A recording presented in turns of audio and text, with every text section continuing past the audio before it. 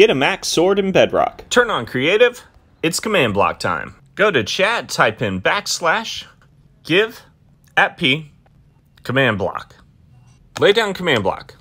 Come to the back, place a button, open command block, type give, at p, netherite sword. Test it out. Woohoo! Add another command block, switch to chain, always active.